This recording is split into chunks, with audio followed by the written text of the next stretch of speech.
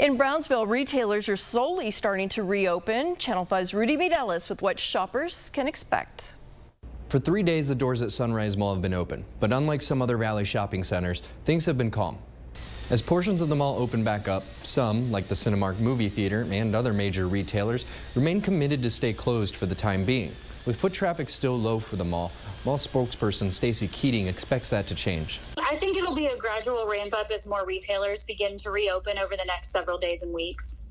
Okay. We understand that people probably have some concerns with coming back to a public space like this. And so we just want to make sure that we're taking the necessary steps to keep the community healthy and then making sure that that information is shared with our customers so that they feel comfortable coming back. Keating says that while the mall has security to ensure no gathering of more than 10 people in open areas and comply with the 25% occupancy orders from the governor, Retail shops will be left to enforce the requirements on their own. Masks will be required for mall staff and employees, but once again, retailers will be left to decide that individually. The only way we could enforce it is if it was required by the governor. We could require them to wear that as well, but it is at their discretion. Keating added that the mall is recommending and encouraging retailers to not only require their employees to wear masks, but provide them as well.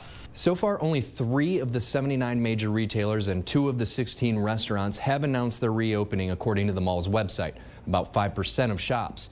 Keating says those interested in visiting should call ahead to find out what's open. In Brownsville, Rudy Mireles, Channel 5 News at 6.